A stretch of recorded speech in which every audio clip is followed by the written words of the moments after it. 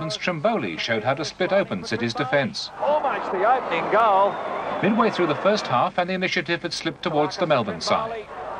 And almost another goal to Trimboli. But as half-time approached, Adelaide City hit back through Steve Maxwell and nearly took the lead.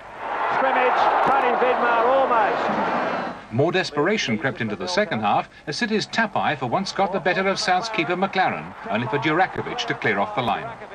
Moments later, and City's Carl Veart was desperately unlucky not to chip the keeper. The opportunity, chipping the goalkeeper. Then, with 20 minutes to go, Adelaide City paid the price for not standing on the ball on a South Melbourne free kick. With the whole defence caught napping, Trimboli had the simple task of putting South Melbourne ahead. Trimboli is there. What did they do? They've scored the opening goal. City's last chance came eight minutes from time when the South Melbourne keeper needed all his experience to keep out Carl Veart.